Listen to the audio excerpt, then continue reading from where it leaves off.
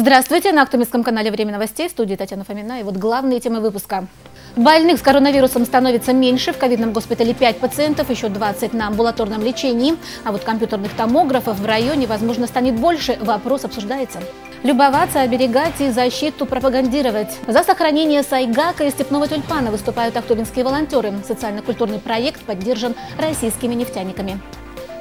Раскрыть творческий потенциал в различных номинациях. Такую возможность ахтубинским детям дает всероссийский конкурс «Наследники Балакирева». В этом году он проводится в четвертый раз.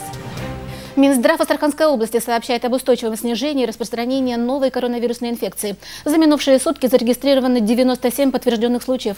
Месяц назад эта цифра была почти вдвое больше. Ситуацию с COVID-19 в Ахтубинском районе сегодня обсудили на заседании оперативного штаба. Было отмечено, что необходимости собираться еженедельно в скором времени, вероятно, не будет. Больных с коронавирусом все меньше. Вопросы здравоохранения остаются под контролем, однако обсуждаться они будут в другом формате. Развитие темы у Елены Печенко. Очередное заседание штаба началось с информации по вакцинации населения против коронавирусной инфекции. Сейчас ее темпы несколько сократились. По мнению главного врача Ахтубинской районной больницы Дмитрия Жмыхова, это связано с погодными условиями. И после потепления население активизируется. Тем более, что запас вакцины имеется. Что же касается эпидобстановки, то в настоящее время с подтвержденным диагнозом заболевания COVID-19 стационарное лечение проходят 5 5 человек взрослого населения и 20 лечатся амбулаторно. В основном это люди старшего поколения. Больных с коронавирусной инфекцией становится меньше, и если такая динамика сохранится, то большой ковидный госпиталь будет не нужен. Мы планируем перевести это отделение, чтобы не держать два полноценных этажа, перевести на мельцеровские боксы первого этажа инфекционного отделения и непосредственно уже производить эм, отмывку э, отделения неврологического с последующей загрузкой именно неврологического пациента в данное отделение. Инфекционное отделение у нас на, расположено на трех этажах, то есть мы планируем э, провести э, значит, зонирование первого этажа, чтобы люди, которые поступают там, с остро-респираторными вирусными инфекциями, там, с кишечными инфекциями, э, могли э, значит, попасть на второй, третий этаж, минуя первый этаж. То есть у нас все это проработано, и, и на данный момент мы после проведения э, мелкого косметического ремонта, подведения газоснабжения непосредственно кислород туда, мы э, планируем значит, проводить перевод. Что же касается работы компьютерного томографа, то все слухи, касающиеся его поломки, оказались фейком. А вот заполучить второй компьютерный томограф вполне реально. Правда, для этого надо оформить немало документов. Но самое главное – отремонтировать для этого дорогостоящего оборудования кабинет. Такой ремонт, соответственно, тоже обойдется в копеечку, а точнее в 5 миллионов рублей. Так дорого, потому что требования высокие. Елена Петченко, Сергей Николаев, Ахтубинск ТВ. Вчера в Ахтубинске произошло ДТП с участием пешехода. Таковым оказалась 82-летняя женщина. Она не получила серьезных телесных повреждений, больше испугалась случившегося. Между тем, с начала года это уже второе дорожно-транспортное происшествие, в котором фигурируют пешие участники дорожного движения. В начале февраля на трассе Ахтубинск-Верхний Баскунчак погиб мужчина 1984 года рождения. Автоинспекторы напоминают о необходимости всем соблюдать правила, особенно в темное время суток. Полицейские также информируют, что с сегодняшнего дня в Астраханской области области стартовала операция «Пешеход». Цель данного мероприятия – недопущение нарушений а, правил дорожного движения пешеходами, а также а, водителями по непредоставлению преимущества э, движения пешеходам. На территории Ахтубинского района с участием пешеходов произошло два дорожных э, с начала года произошло два дорожно-транспортных происшествия, при котором один а, пешеход а, получил ранение различной степени тяжести, один пешеход погиб. В ходе операции будет проведен анализ с целью определения наиболее аварийных мест, дней недели, времени суток и дальнейшего принятия мер реагирования. Особое внимание уделяется профилактической работе.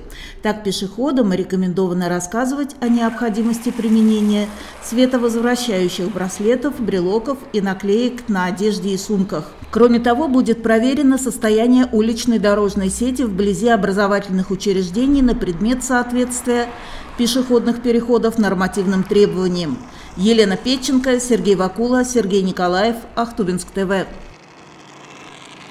В защиту краснокнижных большой экологический форум с участием волонтеров прошел в Ахтубинском районе. Его организатором выступил Центр народной культуры. Участниками мероприятия стали не только ахтубинские добровольцы, нацеленные на сохранение редких видов растений и животных, но и научные сотрудники астраханских заповедников. О том, как это было в нашем сюжете. Десять волонтерских команд со всего района объединил большой экологический форум в защиту краснокнижных представителей степи. Идея появилась в прошлом году. Социальный проект получил грантовую поддержку нефтяной компании «Лукойл». Вместе с молодыми добровольцами, готовыми активно пропагандировать сохранение сайгака и степного тюльпана, в работе форума участвовали научные сотрудники, директора местных заповедников. Они отметили, что в последние годы популяция редких представителей природы, в частности степной антилопы, растет, животные активно мигрируют со стороны Казахстана. Казахстана. Популяция расти стала, браконьерства у нас 16 -го года нет, мы это все выветрили, сейчас э, занимались мусором, мусор тоже убрали, нету, и в настоящее время занимаемся сейчас с детьми, организовали э, клуб возрождения, стали показывать заказник, им стало интересно, они ждут того момента, когда мы поедем туда, когда они будут там или э, тюльпаны сажать, или жазгун сажать, или что-то помогать, или кормушки, или там фотоловушки сейчас уже их привлекли к тому, что фотоловушки показывали, когда там начинают они э, снимки идти смотреть, интерес отбоя нет. Второй год подряд приходит именно на Нагул Сайгак. Поскольку территория природного парка выступает как э, по сути, буферная зона заповедника, то мы создаем такую огромную вокруг соленого озера Баскучак зону покоя для них. Если ранее заходы эти были там фрагментарные, там по 10-15 голов, там может быть э, раз в неделю, то вот 2020 год показал, что вот у нас обитало около 2000 особей. Весной, возможно, произойдет отел на нашей территории. Если произойдет отел, тайгаки будут сюда приходить. То есть главное, чтобы у нас прошел отел. Действительно, с одной стороны, мы радуемся этим, с другой стороны, у нас возникают проблемы. Проблема в том, что все-таки у нас незначительно большая территория, и фактически наша инспекция за пределами территории заповедника уже не имеет своих полномочий. А мы наблюдаем, что сайгак, он распространился по всему Ахтубинскому району. И даже в том году были случаи, что подходил и к Волго-Ахтубинской пойме, и в села заходил. Мы начали устраивать водопоилки э, искусственные, вот, разместили в трех местах. Уже наблюдали, что к некоторым поилкам подходят. А, и в дальнейшем, естественно, мы вот в этом году планируем в рамках нацпроекта «Экология», куда мы попали, э, федерально, как федеральная структура, мы планируем сделать, пробить скважину и уже как бы на постоянной основе, чтобы у нас там вода была. Проект в защиту краснокнижных набирает обороты. Впереди у волонтеров большая работа. Ну а пока все на мастер-класс. Научиться делать тюльпаны из воздушных шаров и лепить сайгаков из глины. В течение 20 минут у меня в руках э, настоящий сайгак из глины. А какие самые сложные детали у сайгака? Рога. Сто процентов рога. И голова еще. Ну, мне нравится. Ну, вообще, при лепке сайгака, наверное, обратить э, пристальное внимание на характерную особенность пластики носа. Чтобы у нас все-таки сайгак был сайгаком, а не козленочком, не, не барашком. Ребята первый раз работали с глиной. Конечно, тяжело. Тесение называется, каким предметом продавливаем рисунок, как говорится, тут своего рода вот таким образом глазки мы продавливаем. Теперь из этого шарика нам нужно сделать 6 сегментов одинаковой длины, примерно 17-18 сантиметров. Потом мы соединяем первый и второй.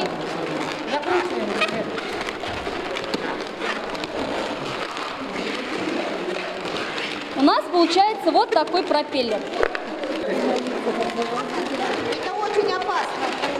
Потом сюда продеваем вовнутрь, да?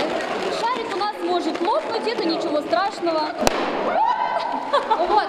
Мы призываем всех к тому, чтобы не срывали эти красивые цветы, а просто сделали их своими руками и подарили. Я уже своим волонтерам говорю, так, готовьтесь, пойдем в детский садик.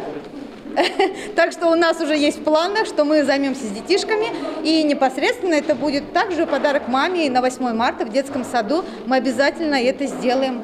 Нам было очень интересно сегодня участвовать в форуме. Столько получили эмоции, столько узнали нового, интересного. Э, выставки поделок прикладного искусства поучаствовали. В общем, дети, конечно, зарядились оптимизмом, бодростью духа, столько узнали много про сайгаков, про тюльпанов. Молодежь села Покровки сегодня приехала на форум, наш волонтерский клуб «Феникс». В нашем селе мы ведем активную работу, в том числе по сохранению природы, защиты краснокнижных, вот сейчас тема. Форумы, они дают нам немного обмен опытом, это что немаловажно для нас, для нашего клуба. Мы очень благодарны организаторам за такие массовые мероприятия и хотели бы, конечно, чаще собираться. В рамках проекта прошел районный конкурс плакатов, рисунков, фотографий, изделий декоративно-прикладного творчества «Сохраним редкие виды». Среди участников воспитанники Ахтубинских детских садов, школьники, студенты, волонтерские отряды. Дипломы победителей были вручены их педагогам. Спонсорскую поддержку оказала компания «Астмаркет». Татьяна Фомина, Сергей Вакула, Юлия Баховская. Ахтубинск ТВ. Весна пришла, значит, самое время отправиться на дачу. Пока еще ничего особенного не делать, просто полюбоваться на родные поместья. На остров Петриков многие добираются на машинах, опасно. Однако, считает Владислав Лихварь, лед на реке стремительно худеет, сам он передвигается только пешком. И вот его первые дачные зарисовки. На календаре 1 марта. Весна пришла, а ночью под утро морозец за двух градусов давит. И почти 200 лет назад такая погода была. Великий русский поэт Федор Иванович Тютчев писал «Зима недаром злится, прошла ее пора, весна в окно стучится и гонит со двора». И хотя морозов сильных не было, а все равно народ устал от ожидания весны, лета. Особенно это заметно по душевному состоянию владельцев садово-огородных участков. Почти каждый выходной день многие отправлялись на свои дачи в Джилгу, Успенку, Покровку и, конечно, на остров Петриков, где сконцентрировалось целых 12 кооперативов, объединивших между собой около 1600 дачных участков. И хотя все понимают, что зимой там особо делать нечего, а все равно и идут, и дело себе находят. Деревья опилить, порядок навести, а большинство, чтобы просто из-за забора на свой участок посмотреть, убедиться, что на нем все в порядке, и обратно домой, по ледовой несанкционированной переправе. Собственно, других в нашем районе нет – по причине слабых морозов. Не успевает лед нарасти до 40-50 сантиметров, как это было 30-40 лет назад. А тот, который есть, не только для передвижения транспортных средств опасен, но и для пешеходов тоже. На реке, к примеру, в иных местах льда не было всю зиму. А где есть, там тоже имеется много майн, прососов, угодить в которые не очень сложно. Так что, уважаемые дачники, надо немного потерпеть. Согласно прогнозу, через 2-3 недели река должна освободиться от льда, и тогда можно будет начинать весенние работы в саду и огороде. А пока к ним надо подготовиться, заготовить семена ранних овощных, вырастить рассаду. Вопрос переправой на дачный остров пока открытый. Руководители города обещают подготовить средства переправы к открытию дачного сезона. Владислав Лихварь, Юлия Баховская, Ахтубинск ТВ. В конце февраля стартовал четвертый всероссийский конкурс детского творчества «Наследники Балакирева». В этом году заявки на участие направили представители детских музыкальных школ и детских школ искусств большой семьи балакиревцев, в том числе из Москвы, Казани, Санкт-Петербурга и, конечно же, Ахтубинска. В этом году конкурс поднимется на новый уровень, считают его организаторы, благодаря участию школы искусств в национальной программе «Культура», в рамках которой был обновлен целый ряд музыкальных инструментов, в том числе получен концертный рояль Николай Рубинштейн. Суббота, 27 февраля. Районная детская школа искусств имени Эмилия Балакирева. С утра до вечера здесь не протолкнуться. Кто куда идет, бежит, не понять. Этот день в году в этой школе самый ответственный. В Ахтубинске проводится в очередной раз телевизионный всероссийский конкурс «Наследники Балакирева». Все, кто сегодня в школе, они очень волнуются, потому что играть э, сразу играть, э, запись можно сделать и два, и три раза, а здесь играть надо сразу собраться, и чтобы это было достойно. Открытие конкурса традиционно состоялось в Большом концертно-выставочном зале «Муза». Он называется «Большой». На самом деле, даже десятой части участников только Ахтубинской детской школы искусств, а это более 600 человек, здесь не поместится. Потому тут только самые-самые, кому быть здесь необходимо. И, конечно, жюри. Но только части во главе с председателем конкурсной комиссии, заслуженной артисткой Российской Федерации, профессором Астраханской консерватории Мариной Александровной Бесценной. Конкурс богатеет, богатеет талантами, Поэтому очень приятно каждый раз. И есть приятные сюрпризы, как всегда. И меня просто удивляет и потрясает прекрасная работа руководителя школы Татьяны Валентины с замечательной командой. Они делают чудеса. Пока идет официальная часть открытия конкурса, встретились с участниками. Это Маргарита Петрашова, преподаватель района детской школы искусств. Совсем недавно Рита сама здесь училась. Поступила в музыкальное училище, а, закончила его с отличием и так горда, что сейчас я работаю именно в этой музыкальной школе города, города Ахтубинска. Поднимаемся на второй этаж. Здесь в малом концертном зале уже идет прослушивание юных ахтубинских музыкантов концертов. Кроме жюри, сюда никого не пускают. А в соседней комнате готовятся к выступлению ученики филиала района детской школы искусств из Заречья и поселков Верхний и Нижний Баскунчак. Ну, то, что организуют такие конкурсы, это большой плюс, а, вкладывают а, в искусство, да, замечают э, детей перспективных. Я Азун Самакян Джиндаров, преподаватель э, музыкальной школы Верхнего и Нижнего Баскунчага, привез своего ученика Леонида. Э, Емельяненко. Я хочу стать музыкантом. Но мне гитара больше к душе. Я с детства хотел на гитаре играть. Съемочная группа АТВ переместилась в районный дом культуры. Здесь тоже с утра до вечера на сцене ученики района детской школы искусств показывают, чему научились, на что способны. Танцуют, читают стихи, выступают в театрализованных постановках. Итоги всероссийского конкурса «Наследники Балакирева» будут подведены в течение недели. А 5 марта организаторы планируют показать жителям города на сцене Дома офицеров гала-концерт с участием победителей всероссийского конкурса «Наследники Балакирева». Владислав Лихварь, Анатолий Калинкин, Татьяна Дубинина, Ахтубинск ТВ. Это все новости на сегодня. Хорошей рабочей недели. До встречи.